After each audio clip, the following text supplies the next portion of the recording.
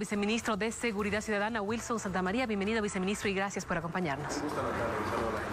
Viceministro, ¿cuán sostenible es esto, tomando en cuenta que hay sectores aún radicales que insisten en bloquear Sencata? Em, bueno, en realidad apelamos mucho al cumplimiento de los acuerdos suscritos. Este reabastecimiento eh, de alimentos de canasta familiar obedece a negociaciones de cara a la ciudadanía de forma transparente que buscan dar certidumbre, primero a la continuidad del Estado, a la exigencia de proyectos y programas que estaban en ejecución en la región del municipio de Mecapaca, al igual que en Palca.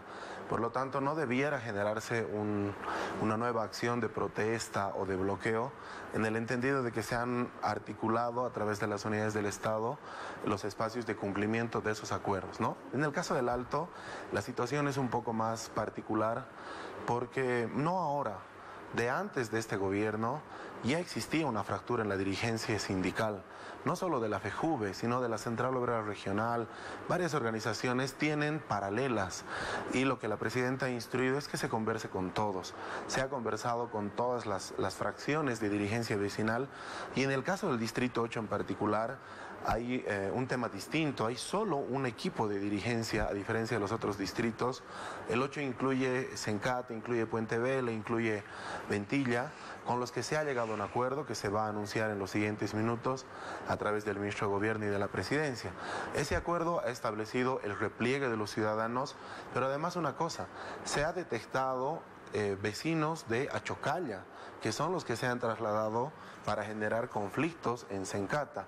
Y son los propios vecinos de Sencata y los alrededores que exigen eh, que esta área se encuentre transitable para desarrollar sus actividades. ¿Fueron ellos o hubo infiltrados? ¿Quiénes provocaron todo lo que ocurrió en Sencata? En realidad inicialmente fue la ciudadanía la que, producto de la convulsión, eh, salió y bloqueó pero luego comprendió que la violencia no podía primar y en el marco de la exigencia de paz se han generado estos diálogos que permiten llegar a acuerdos con todas las fracciones, porque nuestra vocación de diálogo va a ratificarse cada día.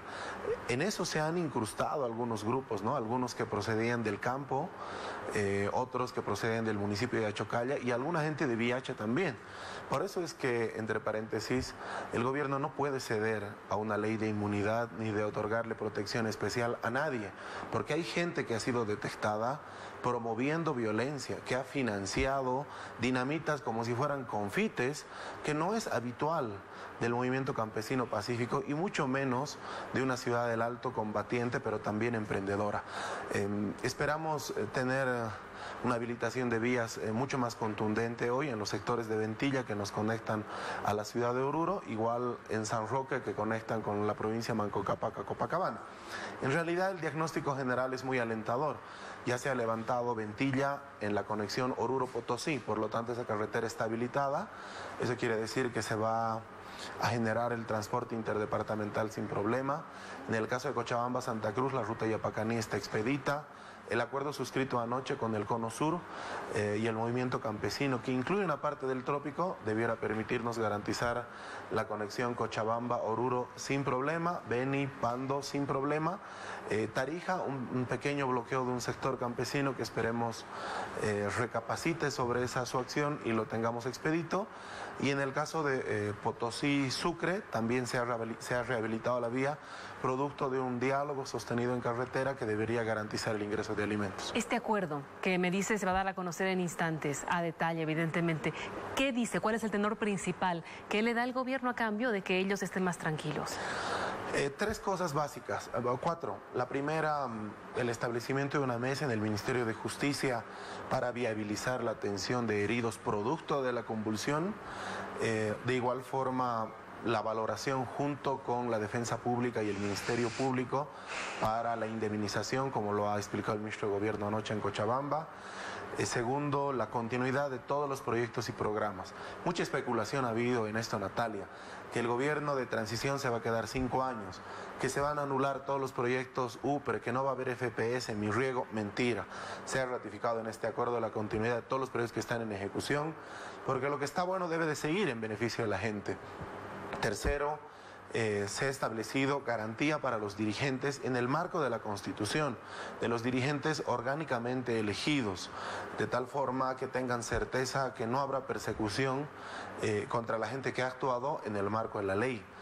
Eh, cuarto, em, tiene que ver con la exigencia también de los vecinos respecto al decreto 4078. El gobierno ha sido claro inmediatamente se garantice la paz, la pacificación, se va a replegar a las Fuerzas Armadas. Como que en varias de estas poblaciones hoy solamente es la Policía Nacional la que está garantizando la libre transitabilidad. Eh, por supuesto que agradecemos su presencia porque sin ellos en este trabajo de fuerzas combinadas no hubiera sido posible retornar primero a garantizar el orden. Esa, exigencia ha sido explicada por el ministro de la Presidencia a detalle. ¿no? ¿Qué exigimos nosotros? Coadyuvar en la libre transitabilidad y evitar el rebrote de bloqueo durante el tiempo del, del, gobierno de la transición para que entre todos garanticemos el desarrollo de elecciones libres, transparentes, sin obstáculos para ninguna organización política de tal forma que se pueda desarrollar eh, este acto electoral eh, de forma libre para que tengamos un nuevo gobierno en las siguientes semanas. ¿Está garantizado entonces el ingreso de combustible, de gas, de alimentos hasta La Paz? Hasta el momento hemos despachado eh, otras 15.000 garrafas a sede de gobierno. Ha habido una exigencia de los panaderos, por eso hemos tenido esta escasez. Eh, no, no falta harina, no faltan esos insumos. Lo que estaba desabastecido es el GLP, con el que funcionan varios hornos. Hoy deberíamos tener mayor normalidad, de acuerdo a lo explicado por ellos. El tema de carne, habilitada la vía Cochabamba-La Paz eh, y hacia Santa Cruz, debería también reabastecer este insumo de primera necesidad en la canasta familiar. Y en el caso de la Ciudad del Alto, al, momento tenemos el reporte de continuidad en las actividades. El Ministro de Hidrocarburos ha instruido a yacimientos que se redoble el equipo que trabaja, eh, primero para compensar mm, este desfase que hemos tenido producto de los bloqueos y segundo para garantizar un abastecimiento adicional. Lo que ocurre es que hay gente que tiene dos vehículos, que solo usaba uno, ahora ha sacado los dos, le está poniendo tanque a full. Eh, hay domicilios donde, aunque hay gas domiciliario, tenían dos, tres garrafas y la gente en esta susceptibilidad que se ha generado producto de las radicalidades está adquiriendo todo lo que puede, ¿no? A pesar de eso se ha instruido que se venda sin restricciones, de tal forma que al final de la jornada de hoy debiéramos tener el mercado en su normalidad. Apelamos nuevamente, existen, a pesar de los acuerdos, existen siempre pequeños espacios radicales que provienen de otras regiones, ¿no? Atemorizados por las acciones legales que se han iniciado, específicamente a Chocalli y Viacha, que pretenden asusar, que pretenden seguir agitando a una ciudadanía pacífica que quiere trabajar para promover estas acciones violentas que han intentado agruparse ayer desde una eh, pasarela para lanzar piedras a las cisternas. Eso no va a ocurrir, ¿no es cierto? Y esperamos que sean los propios salteños los que coadyuven en esa movilización. Finalmente, eh, la gobernación tiene que hacer su trabajo. Tenemos un gobernador desaparecido que tiene maquinaria, que tiene la obligación de coadyuvar la ¿Lo han contactado de vías. Es su obligación, está Pero en la norma. se contactó con ustedes. Él estamos, no, él no ha dicho absolutamente nada, sale, hace una declaración y se ha borrado. Y él tiene maquinaria a través del Servicio Departamental de Caminos para habilitar las rutas interprovinciales. Y lo mismo en la Ciudad del Alto. El gobierno municipal del Alto ya ha dispuesto eh, maquinaria para habilitar las vías aledañas y con mucha prudencia se está estableciendo un plan que busca em, despejar el destrozo. Hay que cuantificarlo. Realmente es millonario y eso va a salir de la propia Ciudad del Alto, de los propios recursos de la ciudadanía.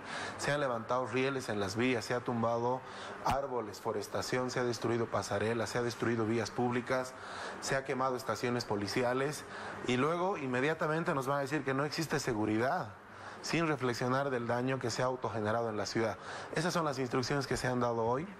La em, la administradora boliviana de carreteras a través del Ministerio de Obras Públicas también va a desplegar inmediatamente maquinaria para rehabilitar la autopista La Paz el Alto en el que existen eh, algunos obstáculos para garantizar la fluidez vehicular. Bien, le agradezco mucho, viceministro, por acompañarnos y quedamos expectantes a la conferencia de prensa que da el ministro de Gobierno y también a los trabajos que se hagan para recuperar el orden en La Paz y en el Alto y así en diferentes lugares que